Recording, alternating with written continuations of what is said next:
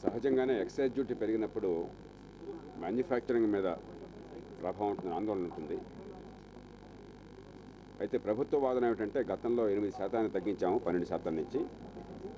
ఇప్పుడు ప్రపంచంలో ఆర్థిక మాంద్యం కాస్త కుదిరిపడుతోంది కాబట్టి మరి ఆదాయాన్ని పెంచాలి బడ్జెట్ లోటు తగ్గించాలి అని చెప్పినట్టయితే మళ్ళీ పన్నులు పన్నెండు శాతం ఉండాలని చెప్పని అంటున్నారు. కానీ మ్యానుఫ్యాక్చరింగ్ మీద. అంటే ఫ్యాక్టరీల మీద కనుక మనం చేసినట్టయితే దాని ప్రభావం ఫిజికల్ గూడ్స్ మీద పడుతుంది ఉపాధి మీద పడుతుంది ఉద్యోగాల మీద పడుతుంది. చైనాను చూసినట్టయితే మ్యానుఫ్యాక్చరింగ్ ప్రపంచంలో నెంబర్ వన్గా ఉంది వాళ్ళు అమెరికాను కూడా దాటిపోయింది. మన దేశంలో మ్యానుఫ్యాక్చరింగ్ చాలా అధ్వానంగా ఉంది. అనుకున్న స్థాయికి ఎదగలేకపోతున్నది కాబట్టి మ్యానుఫ్యాక్చరింగ్ సెక్టర్ మీదే పనులు వేయటం అని చెప్పిన దాని నుంచి పునరాలోచించాల్సిన అవసరం ఉంది. దీర్ఘకాలంగా ఆలోచిస్తే. కానీ సర్వీస్ ట్యాక్స్లు వేయడం మాత్రం చాలా ధర్మం. ఎందుకంటే అది కూడా వేయకుండా ఉంటే పెరుగుతున్నటువంటి ఎకానమీ ఇది అరవై శాతం ఉంది దాదాపుగా. తొమ్మిది శాతం పెరుగుతుంది ప్రతి ఏడాది. పది శాతం పెరుగుతుంది కొన్ని సంవత్సరాలు. కాబట్టి అక్కడ పనులు వేయకపోయినట్టయితే మీకు ఆదాయాలు రావు. కాబట్టి సర్వీస్ ట్యాక్స్లు కొంచెం పెంచినా పర్లేదు కానీ మ్యానుఫ్యాక్చరింగ్ తగ్గిస్తే బాగుంటుంది చెప్పిన భావం ఉన్నది అయితే రెండోది పరిశ్రమకు ప్రధానంగా కావాల్సింది ఏమిటి? విద్యుత్తు కావాలి. ఈవేళ విద్యుత్తు చాలా భయంకరంగా ఉంది పరిస్థితి. రాష్ట్రంలో కానీ దేశంలో కానీ ఈ ఎలక్ట్రిసిటీ కరెంటు పరిస్థితి చాలా భయానకంగా ఉంది.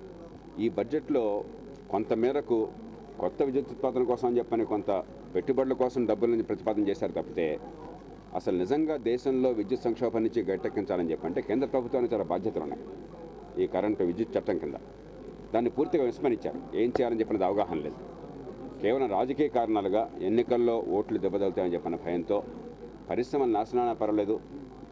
కరెంటు మనకి ఇళ్ళలో కానీ పరిశ్రమలకు అందకపోయినా పర్లేదు. కానీ మాకు ఓట్లు కావాలన్న భావంతో చేశారు. అది ఖచ్చితంగా పరిశ్రమలకు చాలా పెద్ద దెబ్బ అవుతుంది. మూడోది పరిశ్రమలు కోరుకున్నది ఏమిటి? నిజాయితీ అయినటువంటి వాతావరణం. ప్రతి చోట కూడా లంచం లేకపోతే పని జరగదని చెప్పిన భయాన్ని పెట్టేసి వాళ్ళందరినీ కూడా పూర్తిగా నిర్వీర్యం చేస్తున్నారు. అట్లా కాకుండా నిజాయితీగా పనులు జరుగుతాయి. భూముల కేటాయింపులో కావచ్చు గనుల కేటాయింపులో కావచ్చు సహజ వనరులు ఇతరమైన సహజ వనరుల కేటాయింపులో కావచ్చు. లేకపోతే ప్రభుత్వంలో కాగితాలు కదలటం కావచ్చు లేకపోతే పన్నులు వేయడంలో కావచ్చు అసెస్మెంట్లో కావచ్చు ఇతరత్ర కావచ్చు అవినీతి సర్వత్రా వ్యాపించింది మనందరికీ తెలుసు. దానిలోంచి బయటపడడం కోసం ప్రభుత్వం గట్టి చర్యలు తీసుకోవాలి. అది చేపడుతుందని చెప్పి ఆశిద్దాం.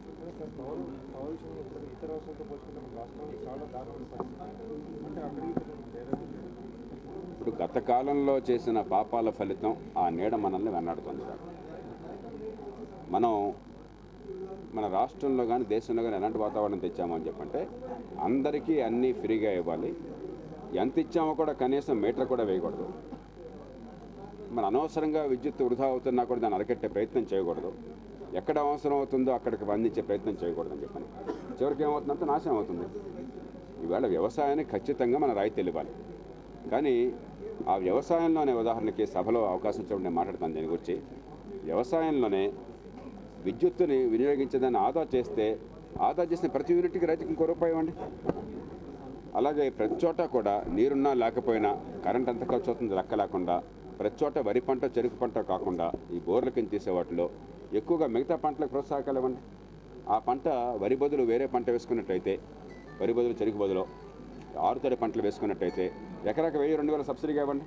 అంటే రైతుకి సబ్సిడీగా ఇస్తేనే విద్యుత్ ఆదా చేయొచ్చు. అట్లాగే ముందుగానే పవర్ పర్చేజ్ ఉన్నట్టయితే మన రాష్ట్రంలో ఈ పరిశ్రమలకి ఇబ్బంది ఉండేది కాదు. కానీ పవర్ పర్చేజ్కి సకాలంలో అనుమతి లేకపోవడం చేత ఈవేళ ఆ పర్చేజ్ కూడా పన్నెండు వందల డెబ్బై ఎనిమిది మెగావాట్లు మాత్రం పర్చేజ్ చేస్తున్నాం పన్నెండు వందల నలభై మెగావాట్లు. అంతకంటే ఎక్కువ లేదు. తీసుకోవాలన్నా కూడా ప్రస్తుతానికి. కేవలం సకాలంలో స్పందించకపోవడం చేత. ఇప్పుడు అవసరమైతే ఎంత రేటుగానే సరే కొని ఆ సబ్సిడీ ఇచ్చారనుకోండి చిన్న పరిశ్రమలు తీసుకున్నట్టయితే కేవలం రోజుకు కోటి రూపాయల సబ్సిడీ అవసరం అవుతుంది. అది ఇచ్చేస్తే కొంత భరోసా ఉంది. కాబట్టి ప్రభుత్వం రేపన్నది లేకుండా ఎప్పటికైతే ప్రస్తుతం అని చెప్పి ఆ పూట ఓట్లను గురించి ఆ పూట లంచాలను గురించి ఆలోచిస్తే ఖచ్చితంగా ఆర్థిక వ్యవస్థ దెబ్బతింటుంది. ప్రస్తుతం రాష్ట్రంలో దెబ్బతున్నారు